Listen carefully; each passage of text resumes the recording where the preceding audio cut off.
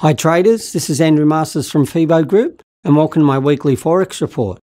To kick off Monday, traders will pay attention to the European session with the release of Markit manufacturing PMI from France, Germany, the Eurozone as a whole, and the US. All numbers came in above 50 last month, which shows the sector is moving forward, and another round of strong figures should lend some support to the US dollar and euro. On Tuesday during the Asian session, we'll see the latest interest rate decision from the Reserve Bank of Australia followed by a monetary press conference. The market now expects the RBA to cut rates by 25 basis points in order to boost inflation figures, and we expect the Australian dollar will come under serious pressure surrounding this news.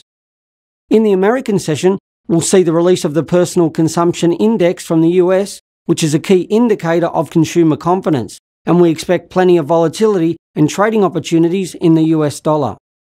On Wednesday, the highlight of the day will be the release of Markit services numbers from France, Germany, the Eurozone as a whole, and the US.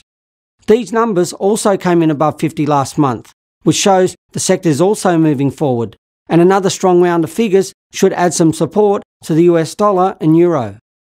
Also expected to create some volatility is the release of the latest retail sales figures from the Eurozone, which are expected to hit the market at 1.5%, and is well up on last month's figure of 1%, and we should see the euro jump on the release of this expectation.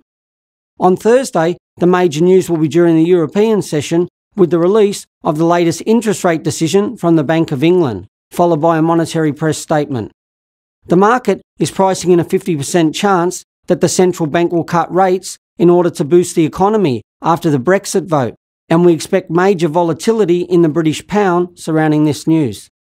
On Friday, during the Asian session, we'll see a monetary press statement from the Reserve Bank of Australia, which follows on from Tuesday's interest rate decision, and we expect volatility in the Australian dollar.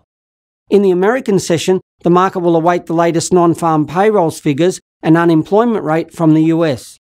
The numbers came in strong last time round, which shows the US economy is moving forward, and another strong round of figures should see the US dollar finish the week on a strong note. That's all from me at FIBO Group, and I'll see you all next week.